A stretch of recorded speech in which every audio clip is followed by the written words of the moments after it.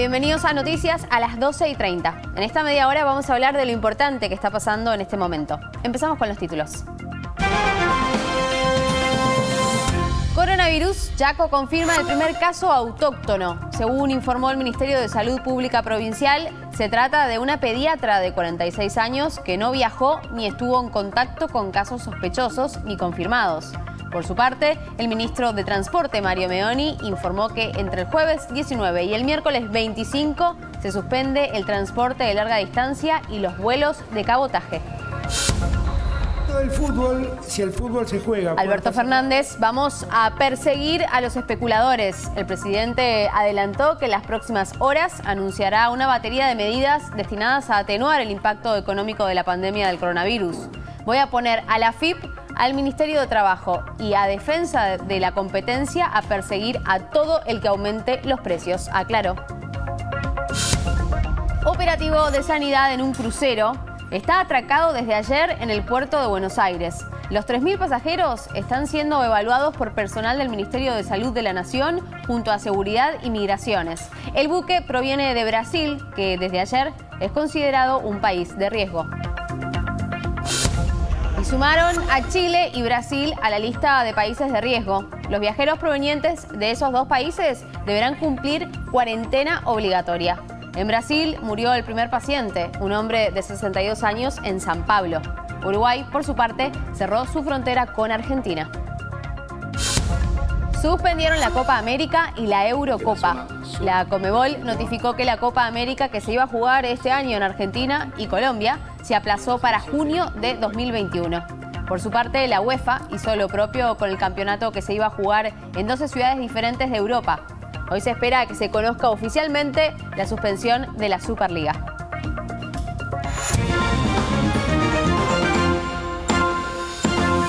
Repasamos cómo está el clima en la ciudad de Buenos Aires. En este momento la temperatura es de 21 grados y el cielo está parcialmente nublado. Veamos lo que nos espera para el resto del día. Por la tarde tendremos 25 grados con tormentas y por la noche tendremos 20 grados también con tormenta. Repasamos el estado de los subtes en la ciudad de Buenos Aires. Recuerden que la línea A llega hasta la estación Perú por Óvelas en Plaza de Mayo. La línea E presenta un servicio con demoras y el resto de las líneas y el premetro funcionan con su cronograma habitual. La ciudad habilitó el libre estacionamiento en algunas avenidas y calles. Lo que no se podrá hacer es dejar el auto en las calles donde está prohibido estacionar durante 24 horas. El gobierno porteño anunció que los autos podrán ingresar sin restricciones a la zona del microcentro porteño y de tribunales. La medida regirá hasta el 31 de marzo. Y ante el avance del coronavirus en la Argentina y con el objetivo de reducir la circulación de ciudadanos por las calles de todo el país, el ministro de Transporte de la Nación, Mario Meoni, anunció en conferencia de prensa en la Casa Rosada que hasta el día jueves 19 a las 24 van a circular normalmente trenes y colectivos de larga distancias y aviones de cabotaje. A partir de ese momento se suspende de manera total la operación hasta el miércoles 25 de marzo. Desde el jueves, micros y trenes transportarán pasajeros sentados. La idea es minimizar la movilidad durante el fin de semana largo. Hasta el día jueves 19 a las 24 horas van a circular normalmente trenes, colectivos y aviones eh, en todo el país. Estoy hablando de trenes de larga distancia, eh, de trenes de larga distancia, colectivos de larga distancia y aviones de cabotaje. A partir de ese momento se suspende de manera total la operación hasta el día miércoles 25 a las 0 horas. Es que no todos parecen entender la importancia de mantener la distancia social. Así estaba la ruta para acceder a la localidad balnearia de Montermoso. Más de dos kilómetros de cola de vehículos atascados. En el contexto de la emergencia sanitaria que atraviesa el país, se instalaron puestos de control en el acceso a la ciudad para revisar a cada persona que quería ingresar. Los visitantes debieron responder un cuestionario y luego firmarlo como una declaración jurada. Se les preguntó acerca de si procedían de algún país de riesgo o si presentaban algún síntoma relacionado con el COVID-19. El intendente de la ciudad dijo en una entrevista radial, hay una irresponsabilidad muy grande. La gente no tiene que ir a Mar del Plata, a Montermoso, a las cataratas ni al glaciar Perito Moreno. Tenemos que quedarnos en nuestras casas y no contaminar. El presidente también reaccionó ante estas imágenes publicando este tuit. Te proponemos que no trabajes y que tus hijos no vayan al colegio para que se queden en casa y no corran el riesgo de contagiarse. Si salen, se exponen a la circulación pública, se están poniendo en riesgo. Aislate con tus hijos, cuídate y cuídalos. Un crucero con 2.900 pasajeros amarró en el puerto de Buenos Aires, pero no dejan bajar a nadie por prevención. En el lugar está nuestra compañera, Gisela Carrera. Buen día. Muy buenos días, Agustina. Efectivamente, nos encontramos en la terminal de cruceros Benito Quinquela Martín, en donde hoy a las 6.39 de la mañana llegó este crucero proveniente de Brasil con 2.900 pasajeros que había partido el 7 de marzo de aquí de la ciudad de Buenos Aires no pudieron bajar en Uruguay, no se lo han permitido, y en este momento, donde aquí en Buenos Aires se le están realizando los controles a cada uno de los pasajeros por parte de personal, tanto de sanidad como de migraciones. En el caso de encontrarse alguno de los pasajeros con fiebre, van a proceder a hacer la cuarentena dentro del crucero. Si al evaluarlos y están todos bien de salud y no presentan fiebre, podrán retirarse los ciudadanos argentinos a su domicilio con algún familiar o a través de un taxi, que cabe aclarar que estas personas no deberán realizar la cuarentena, sí obviamente los pasajeros, y en el caso de los extranjeros, el personal de migraciones se van a encargar de que cada uno pueda volver a su país correspondiente. Ante el avance del coronavirus, el gobierno amplía el trabajo a distancia. Habrá home office para el sector público y privado, pero estarán exceptuados los empleados de salud por ser esenciales. Y en este momento el Ministerio de Salud consideró necesario ampliar ese universo de trabajadores que ah, vamos a dispensar del deber de asistencia a los mayores de 60 años, a las trabajadoras embarazadas y a una serie de trabajadores con determinadas afecciones crónicas que ustedes van a ver en la resolución, enfermedades respiratorias crónicas, enfermedad pulmonar, EPOC, enfisema, enfermedades cardíacas, van a ver en la resolución una serie de enfermedades en donde a este grupo de trabajadores se los dispensa del deber de asistir al lugar de trabajo. Eh, en el caso de los mayores de 60, esta dispensa, esta dispensa podrá ser afectada en caso de que se considere que es personal esencial, o sea, es personal que se requiere su presencia para que la actividad siga adelante. Se aclara específicamente que hay un sector de la actividad actual que eh, se considera todo personal esencial, que es el sector salud. Repetimos lo que hicimos la otra vez, lo que se está liberando a la gente es del deber asistir al lugar de trabajo, pero si están dadas las condiciones para que trabaje en su hogar, debe fijar las condiciones con su empleador para poder hacerlo. Incorporamos también un tema que fue bastante motivo de consultas, que es con motivo de la suspensión de las clases, ¿Qué, sucedía si alguno de los padres tenía que quedarse en guarda, algunos de los padres o encargados de la custodia tenían que quedarse en guarda del menor que no asistía a clases? Así que en este caso establecemos que es una ausencia justificada y que lo único que tiene que hacer es comunicar a su empleador los detalles de eh, la situación, o sea que tiene el hijo menor, que no hay quien lo cuide, etcétera, etcétera. Con más de nueve casos diagnosticados en las últimas horas, asciende a 65 el número de argentinos que contrajeron la enfermedad. Todos son del tipo importado, es decir, que viajaron a países de riesgo o estuvieron en contacto estrecho con infectados. De estos nueve, son cinco de la ciudad de Buenos Aires, tres de Chaco y uno de la provincia de Buenos Aires.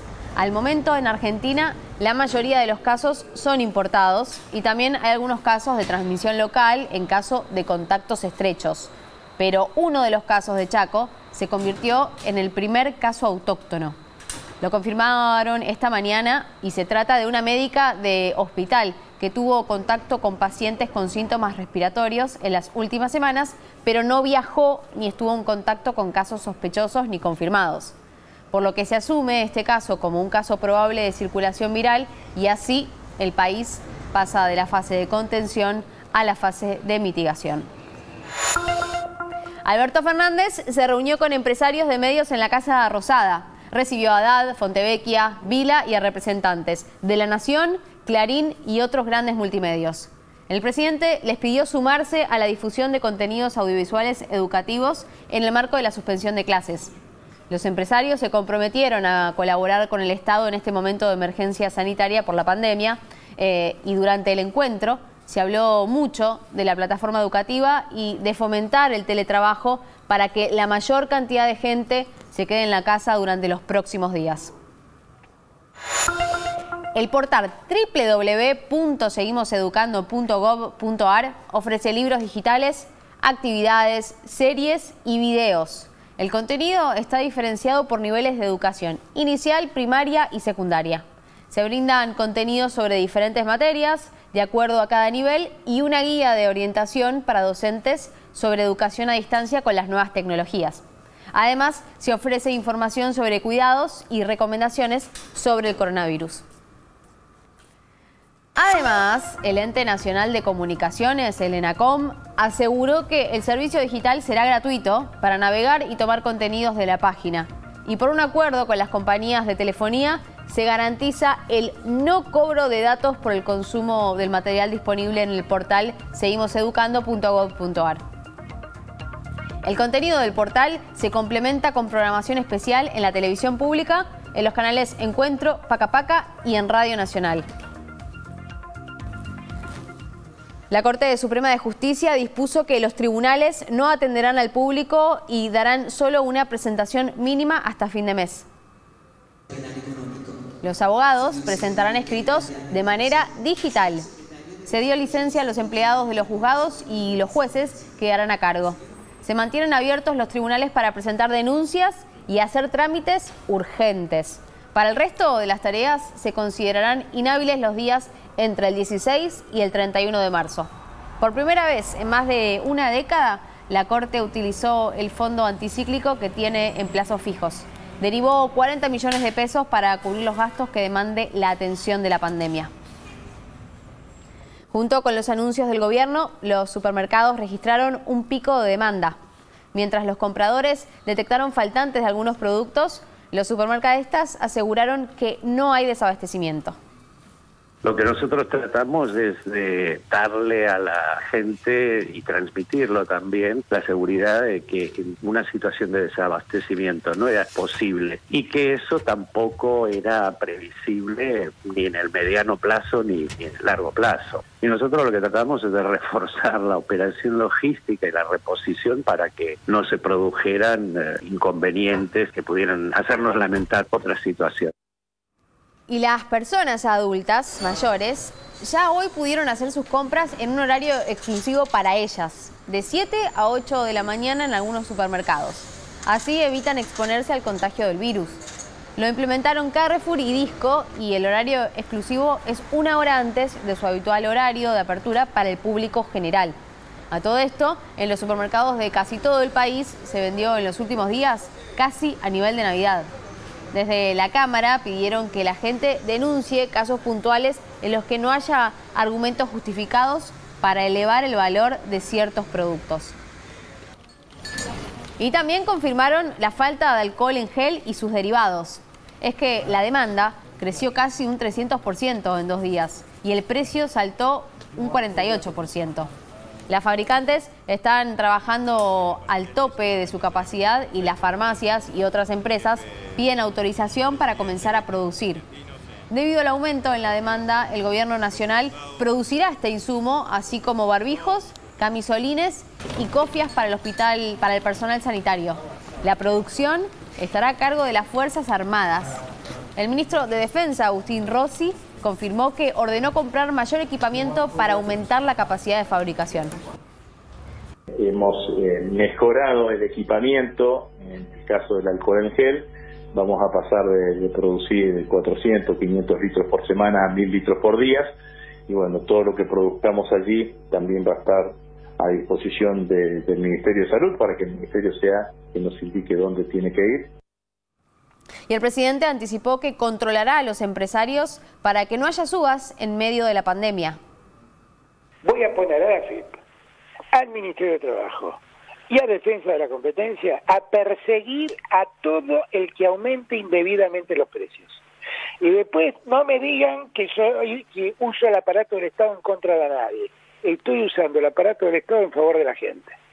Sépanlo, les avisé, no voy a tolerar que los pícaros, como dije el otro día, que una que, un número mínimo de vivos no tomen por bobos a todos los argentinos. No lo voy a permitir. El gobierno decidió sumar a la lista de países considerados de riesgo a Chile y Brasil, por lo que a partir de ahora los pasajeros que lleguen de esos países vecinos deberán guardar cuarentena. Como ya lo hacen quienes arriban desde Estados Unidos, Europa, China, Corea del Sur, Japón e Irán, antes de tomar esa resolución, el presidente Alberto Fernández había participado brevemente de una teleconferencia con sus pares que integran el PROSUR, en la que hablaron de coordinar acciones y cuidar las fronteras. Chile y Brasil se convirtieron en los dos países de la región con más infectados de coronavirus y, de acuerdo al estudio que realiza la Organización Mundial de la Salud, entraron a una fase más grave porque ya presentan enfermos autóctonos. En el caso de Chile, ya tienen 155 casos, 80 de los cuales se detectaron en los dos últimos días. Brasil tiene 234 casos, eh, es que más contagiados tiene de la región, pese a la pose despreocupada de su presidente Jair Bolsonaro. Y la situación de las personas varadas en el mundo por el coronavirus se agrava con el correr de los días. La compañía Latam Argentina comunicó que no puede repatriar a unos 10.000 argentinos que se encuentran en el exterior a raíz de la decisión del gobierno de Perú de cerrar su espacio aéreo. El Aeropuerto Internacional de Lima es uno de los principales centros de operaciones de Latam, una compañía que es muy utilizada por argentinos y con presencia en la región. Por el momento se desconoce si Aerolíneas Argentinas, la única compañía habilitada para repatriar argentinos, se hará cargo de estos pasajeros varados. En este sentido, la firma estatal anunció nuevos vuelos hacia Madrid y Miami para traer a casa a los argentinos o residentes. La situación podría agravarse en caso de que Chile decida cerrar su espacio aéreo, lo que imposibilitaría que argentinos lleguen a ese destino y luego crucen la frontera. Esta madrugada, en Palermo, la encargada de un bar fue detenida por la policía de la ciudad por violar las medidas sanitarias preventivas. Se trata de una mujer de 34 años que se negó a desalojar el local que estaba excedido de, clientes. El bar es Baires VIP en Córdoba el 4000. El operativo se realizó en el marco de una serie de controles en boliches y bares de la ciudad de Buenos Aires y el artículo 205 del Código Penal establece que será reprimido con prisión de seis meses a dos años el que violare las medidas adoptadas por las autoridades competentes para impedir la introducción o propagación de una pandemia. Recordemos que en la ciudad de Buenos Aires, si se padecen síntomas, hay que comunicarse por teléfono a la línea 107. Para recibir más información, la línea de atención ciudadana es la 147. El WhatsApp de la ciudad es 11 50 50 0147.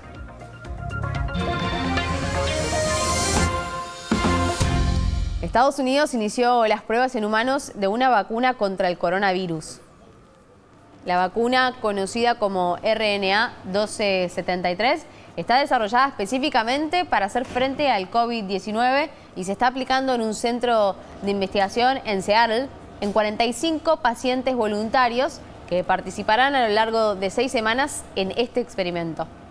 Según el Instituto Nacional de Alergia y Enfermedades Infecciosas de Estados Unidos, el proyecto de inoculación ya tuvo buenos resultados en animales, aunque aclaró que se van a necesitar varios meses hasta que haya una vacuna disponible para el uso público. Y mientras tanto, también en Estados Unidos aumentó notablemente la venta de armas por medio por miedo al coronavirus, tanto en locales como en los canales online. Según uno de los vendedores de internet, del 23 de febrero al 4 de marzo, las transacciones aumentaron un 68% en comparación con los 11 días anteriores. La zona donde más aumentaron las ventas es en Los Ángeles, cuyo aguacil dijo que se trata de una compra de pánico y aseguró, todos debemos ser responsables para que no caigan en manos de gente que no debería tener armas. y los efectos colaterales del coronavirus también se colaron en las cárceles de Brasil, donde 1.350 presos se fugaron de distintas prisiones en el interior de San Pablo después de una serie de motines. Las revueltas ocurrieron en protesta por la prohibición de visitas y salidas temporales debido al coronavirus. Según las autoridades, esos beneficios se cancelaron porque implicaba la salida de 34.000 sentenciados con regímenes semiabiertos que, al retomar a la prisión, tendrían un elevado potencial para propagar el coronavirus en una población vulnerable. Ante las fugas masivas, en la ciudad de Mongawa, las autoridades le pidieron a los vecinos que no salgan de sus casas y se cancelaron las clases en todas las escuelas. Brasil ya confirmó 234 casos de coronavirus. Y nos vamos a Europa, donde el presidente de Francia, Emmanuel Macron, anunció que el país inicia hoy al mediodía un confinamiento casi total para todos sus ciudadanos, a que, que solo podrán salir a la calle por motivos de primera necesidad. Además confirmó que el Estado asumirá los créditos bancarios y suspenderá el pago de alquileres, impuestos tarifas de luz, agua y electricidad. Estamos en guerra, no contra una nación ni contra un ejército, es una guerra sanitaria. El enemigo está aquí y avanza, aseguró Macron. Francia ya confirmó un total de 6.655 casos y 148 muertes. Mientras tanto, España sumó 150 fallecidos y casi 2.000 casos de coronavirus en un solo día. El director del Centro de Coordinación de Emergencias Sanitarias del Ministerio de Salud dijo que la situación durará por lo menos 10 días y que retomará las pruebas para todos los que se presenten, todos los que presenten síntomas. Veo, veo. Una cosita. Empieza por la letra F. Y en medio de la cuarentena, los vecinos de Sevilla se entretuvieron de esta manera, jugando al veo veo desde los balcones. Así son las alternativas en España para pasar el aislamiento lo mejor que se pueda. Volvemos a nuestro país. Aunque genera menos temor que el coronavirus, el dengue está expandiéndose en todo el país y sigue cobrándose víctimas fatales. Se confirmó la muerte de un adolescente de 14 años en la localidad de El Dorado, de Misiones, a 200 kilómetros de Posadas. Y antes, la provincia de Santa Fe corroboró el fallecimiento de un hombre de 82 años que vivía en Rosario. Según el conteo oficial, ya son cinco las víctimas fatales por la enfermedad en el país desde que arrancó el brote.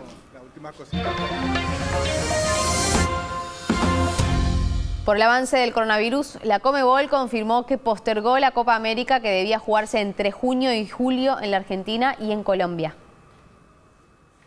El comunicado oficial de la Comebol argumenta la suspensión de la competencia debido a la evolución mundial del coronavirus. Además, resalta que la decisión se tomó con el objetivo de salvaguardar la salud del fútbol sudamericano. Por el momento, el torneo quedó reprogramado para los meses de junio y julio de 2021. Más temprano, la UEFA también anunció que la Eurocopa 2020 tendrá que jugarse el próximo año por la epidemia de coronavirus que azota Europa. El organismo decidió que el torneo de selecciones se juegue del 11 de junio al 11 de julio del 2021 para que las ligas puedan completar los calendarios que quedaron frenados por el COVID-19. Ante este panorama, la FIFA difundió un video con recomendaciones de la Organización Mundial de la Salud para prevenir el virus. Todo comienza con tus manos. Por favor, lávate las manos frecuentemente y si es posible, con una solución de alcohol. El argentino Mauricio Pochettino dejó su mensaje, al igual que el presidente de la FIFA, Gianni Infantino. El máximo dirigente del organismo que rige al fútbol mundial dice al final del video que el partido contra el coronavirus se ganará entre todos. Con este mensaje, la FIFA y la Organización Mundial de la Salud buscan prevenir la propagación del virus entre los hinchas. El cantante de Coldplay, Chris Martin, se sumó a la ola de conciertos en casa. Él lo hizo a través de un vivo de Instagram. Ahora lo vamos a estar viendo y lo compartimos. Así, cantante de Coldplay lo hizo, lo escuchamos. Um, so uh, I'm on my own, sort of, in the house where I am, where I live, and uh, I was supposed to be with the band Coldplay today, from which I come, but they are we're stuck in different countries, so we can't play together. So I thought what would be nice would be to check in with some of you out there and see how you're doing and where you are and what I could do for you. So I'm here at your service for the next 20 something minutes. Cause you're a sky, oh you're a sky full of stars. Así, el cantante de Coldplay pasó casi media hora atendiendo los pedidos de sus fans e interpretando las canciones que los espectadores le solicitaban a través de los comentarios. El mini recital que se llamó Together at Home, Juntos en Casa, se sumó a la iniciativa que ya impulsaron otros cantantes como Juanes y Alejandro Sanz, llamada Yo me quedo en casa para promover que la gente cumpla con la cuarentena.